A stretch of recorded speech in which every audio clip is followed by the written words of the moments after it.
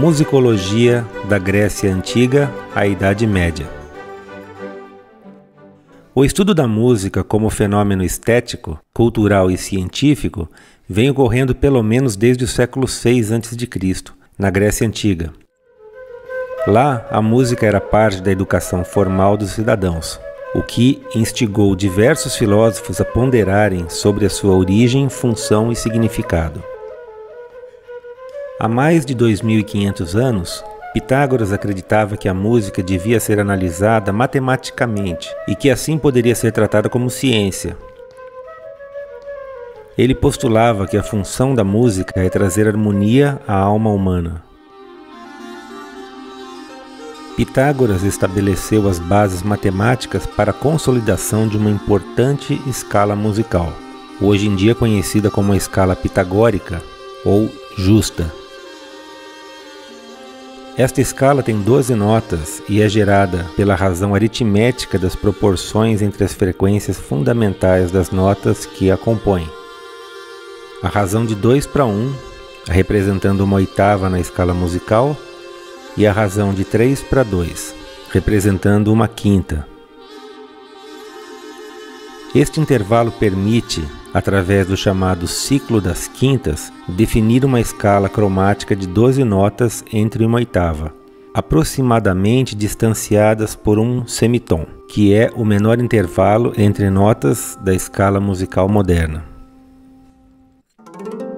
Pitágoras argumentava que todos os fenômenos objetivos e subjetivos poderiam um dia vir a ser descritos através da matemática, do mesmo modo que outros filósofos pré-socráticos, Pitágoras também acreditava nos poderes medicinais da música, conceito este que foi adotado cerca de 150 anos depois por Platão e Aristóteles.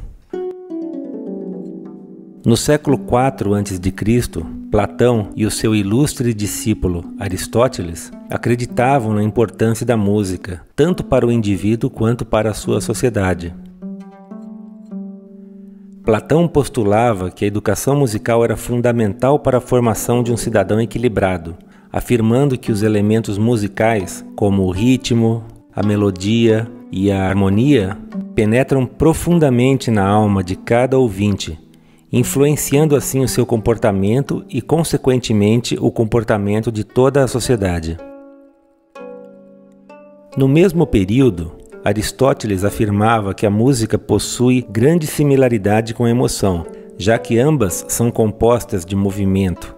Notando aqui que a palavra emoção origina-se da palavra latina emovere, que significa incitar ou instigar movimento.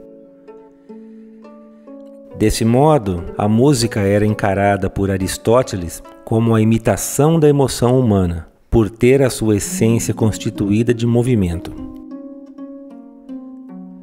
Neste período, a música era entendida como sendo construída por um processo de imitação. Platão definia dois tipos de atividades comunicacionais: a mimese, que é a imitação de um fenômeno observado, e a diégese, que é a narrativa do fenômeno observado. Em outras palavras, tanto para Platão quanto para Aristóteles, a mimese mostra sem explicar, enquanto que a diégese explica sem mostrar. Platão catalogava os estilos poéticos em quatro categorias: comédia, tragédia, épico e poesia lírica, sendo que a tragédia e a comédia para ele eram predominantemente miméticos.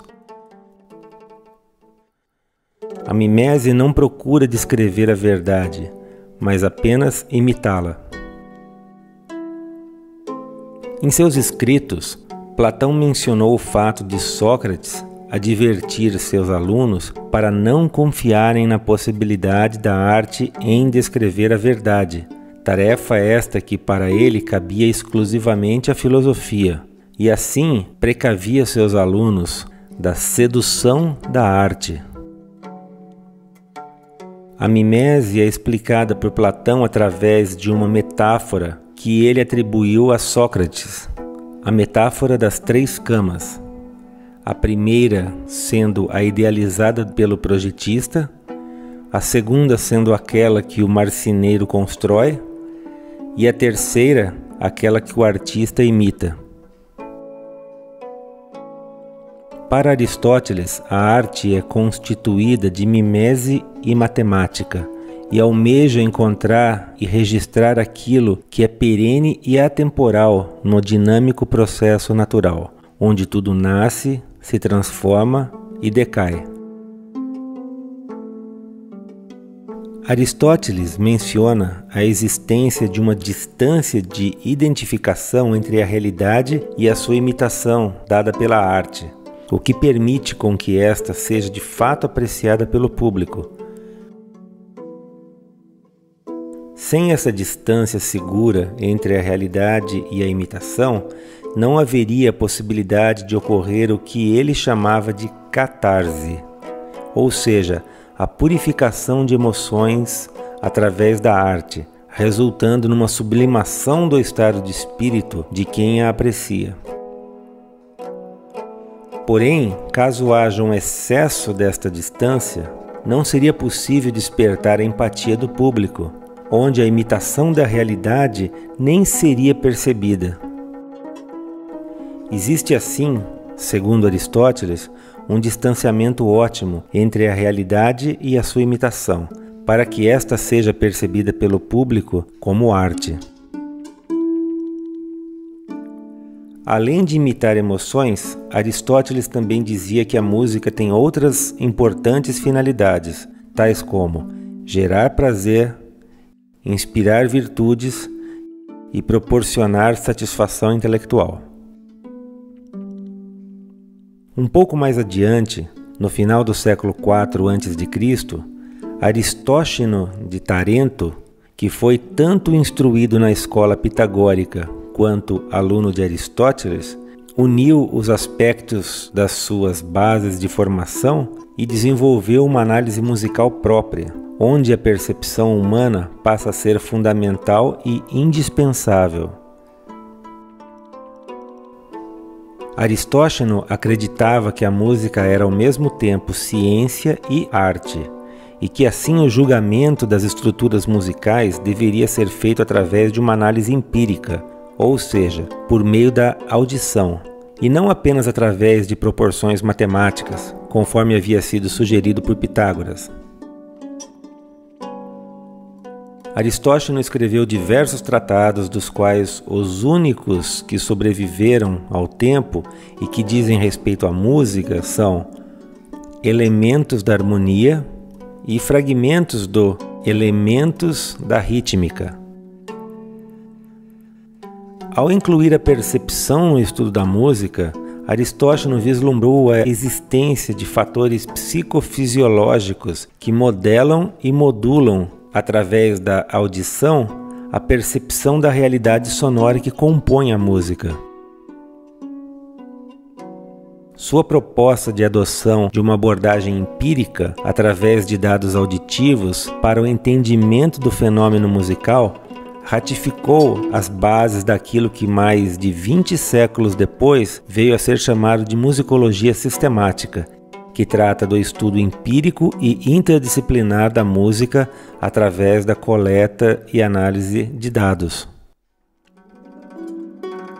Esta enorme pausa no desenvolvimento da musicologia sistemática deve-se principalmente ao fato de que os recursos tecnológicos que atualmente permitem a coleta e análise estatística de dados acústicos e simbólicos de peças musicais só veio a surgir na segunda metade do século XX, com o advento da tecnologia eletrônica e posteriormente computacional.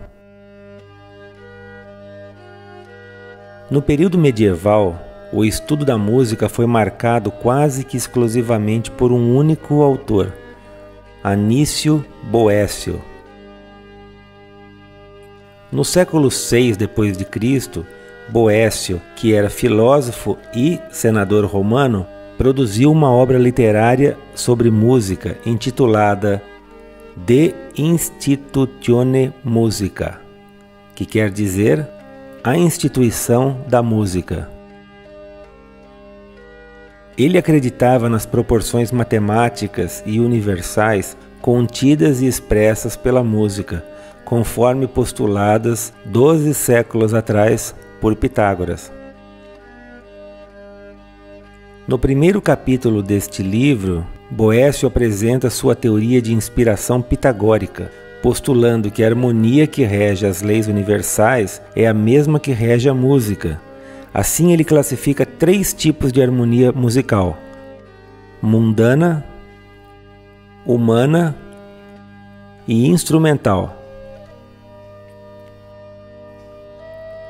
A harmonia mundana, também chamada de música universal ou música das esferas, era definida como sendo constituída pela proporção e regularidade dos movimentos dos corpos celestes, ocorrendo como uma forma de harmonia inaudível, porém regular, perene, responsável pela manutenção do mundo e do universo como era conhecido na época.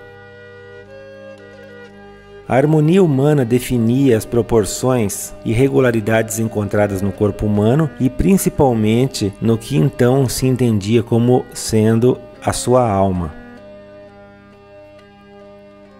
A harmonia instrumental era definida como sendo a única que é de fato audível, uma vez que é produzida através da ação da voz ou de instrumentos musicais. Segundo Boécio, esta era gerada por distintos tipos de instrumentos musicais que podiam ser constituídos por objetos sob tensão, como as cordas retesadas, sob ação do vento, como os instrumentos de sopro, ou por objetos de percussão. O trabalho em música de Boécio foi também fundamental para o registro histórico das antigas peças musicais gregas, que sem este registro poderiam ter se perdido ao longo da história.